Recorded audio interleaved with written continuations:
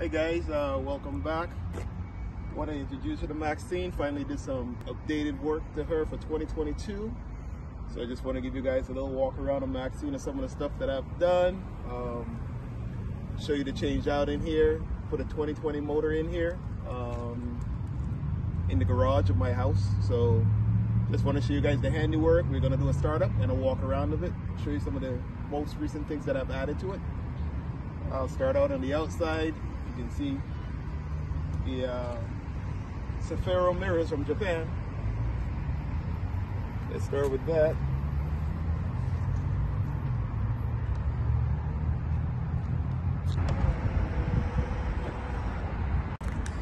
All right, let's get under the hood. Excuse a little mess right here. I got a little bit of scraping on it.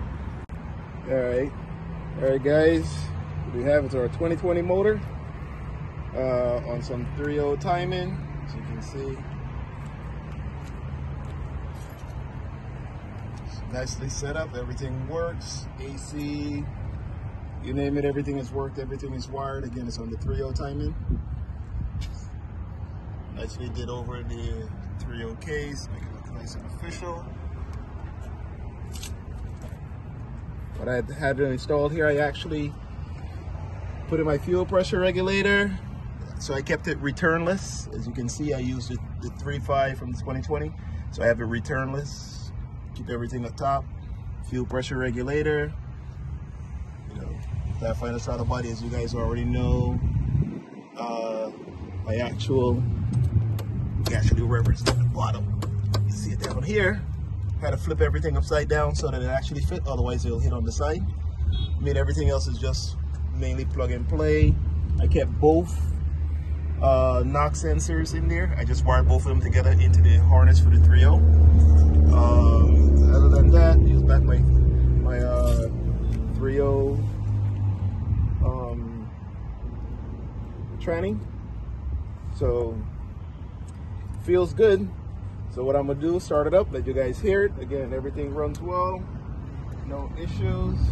Just excited.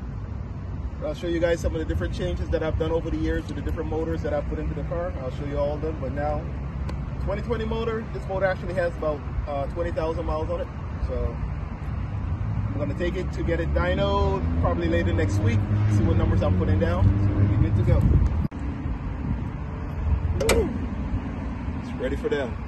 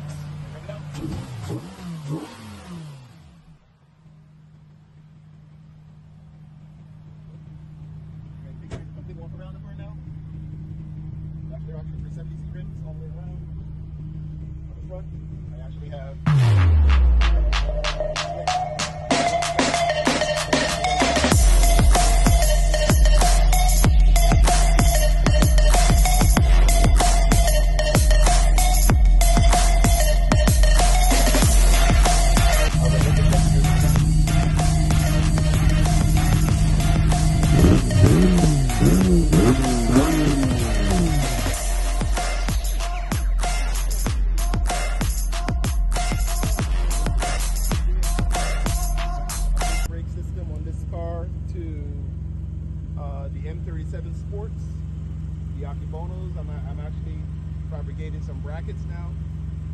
So I'm installing the, the Akebonos. The right side is already already fabricated. I'm about to finish fabrication on the on the uh, left on the passenger side probably later today, tomorrow. Then I get those painted. Did a complete conversion on the inside. My interior, I've already done that also. Included the 2020 steering wheel installed. Uh, black and red interior. I'll show you guys that in the next video. More to come. Stay tuned. Good, I like the next time.